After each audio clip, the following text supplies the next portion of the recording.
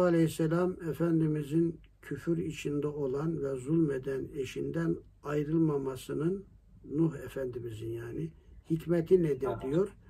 Burada hikmetten daha ziyade Allah'ın emri peygamberler için asıldır.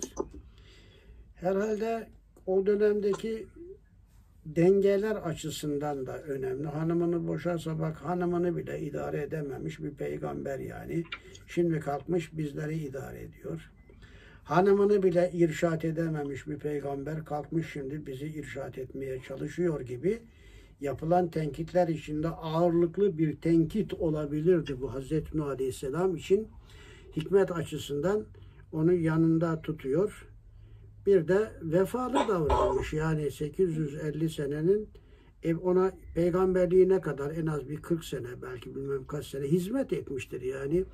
E, bu kadar insan vefalı davranmış. Ben de vefalı davranayım olabilmiştir.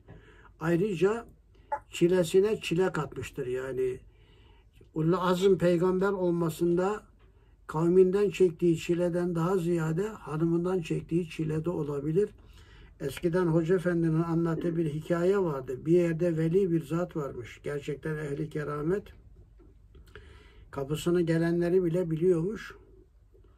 Ee, ama bir bela hanımı varmış. Gelenleri kovarmış o. Ee, bir gün birkaç kişi huzuruna evine gitmiş.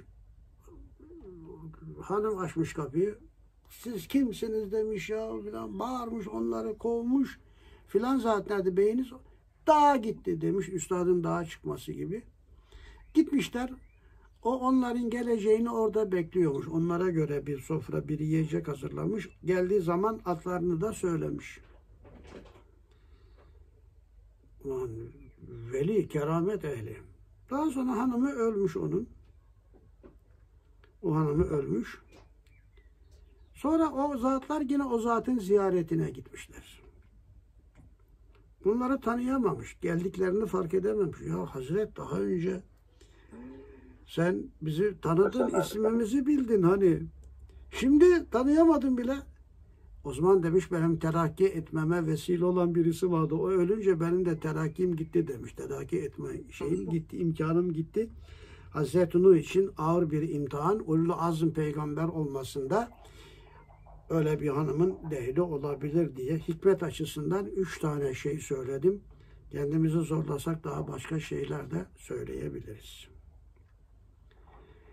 Teşekkürlerimi sunuyorum. Allah'a emanet ediyorum. Baş... Hocam Allah razı olsun. Allah razı olsun hocam. Kimlerin sesi geliyor bilmiyorum ki.